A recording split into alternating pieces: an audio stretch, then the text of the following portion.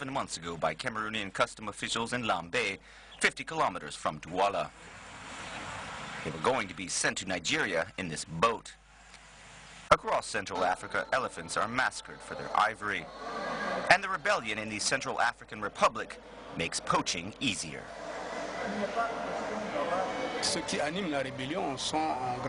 Many of the rebels are poachers.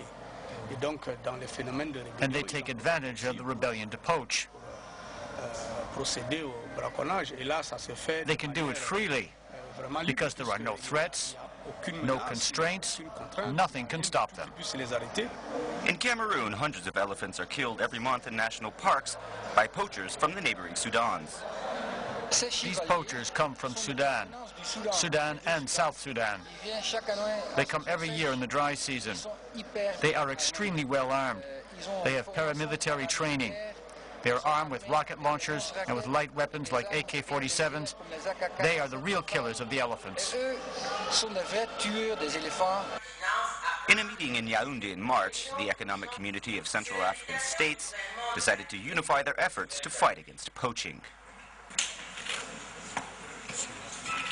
The purpose of this three-day meeting is to organize a coordinated military response between the three countries concerned with this problem before the Sudanese go back home at the end of the dry season. That is, within the next two months. The former Cameroonian footballer Patrick Mboma was designated to inform people of the urgency of this plan. To fight poaching in national parks, elephants are now protected by armed park rangers who are backed by state military forces. The operation cost 125 million CFA francs, or almost 2 million euros. Fighters of the Free Syrian Army say they have captured an important Air Force base in the province of Deraa. The advance by the FSA came following three days of intense fighting between Syrian government forces and rebel fighters for control of the strategic Air Force base, which houses the 49th Brigade of the Syrian Army. Meantime, embattled Syrian President Bashar al-Assad has warned those plotting to unseat him to worry about the consequences of a post-Assad Syria. More in this report. The fighting the Free Syrian Army captured a former Air Force station, the 49th Brigade, in the town of Khirbet Hazaleh in the southern province of Deraa. The rebels broadcast images of the site showing burnt-out bunkers and destroyed military vehicles.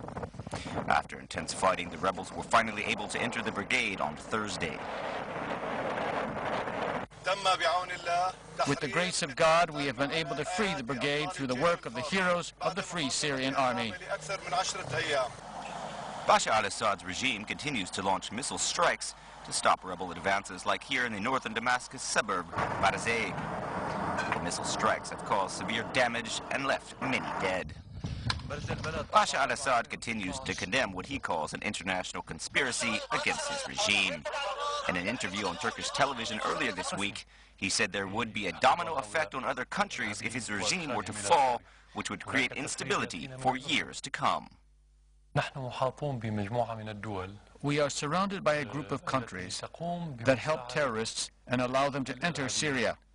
Turkey's government officially harbors terrorists and sends them into Syria. They're also crossing over from Jordan.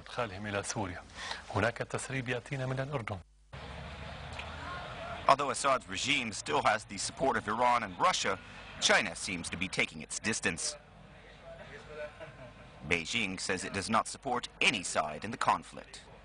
The Chinese government shares the same view with Qatar, Saudi Arabia and Bahrain, that we will firmly enhance our cooperative partnership regardless of changes in regional and international situations. The United Nations says that over 70,000 people have been killed in the conflict, which is now in its second year.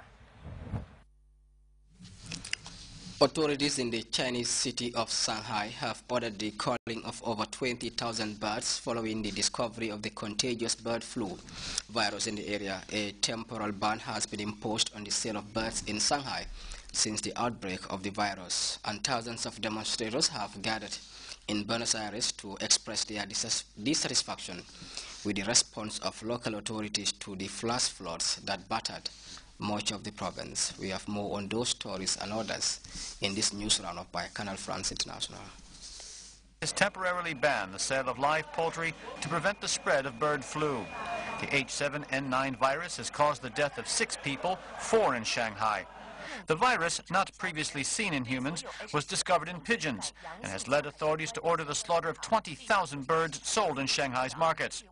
Taiwan has also reported 12 suspected cases. The World Health Organization says there is no evidence of human-to-human -human transmission.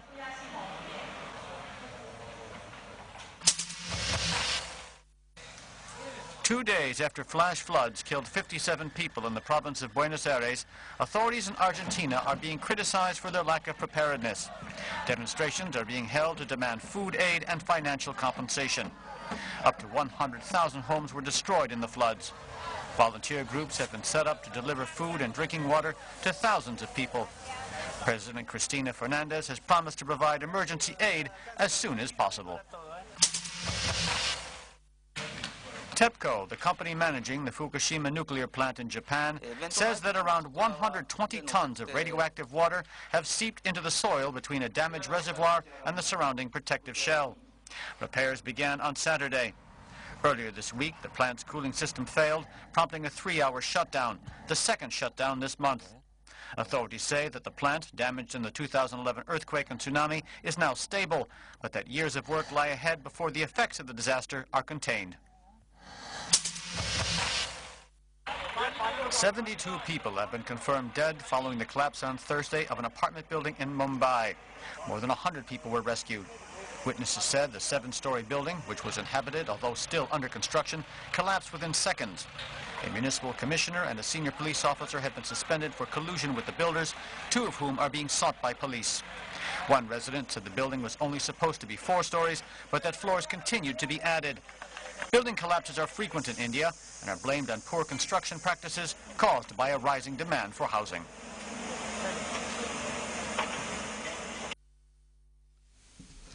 We go for another break. We'll be back. Momentarily.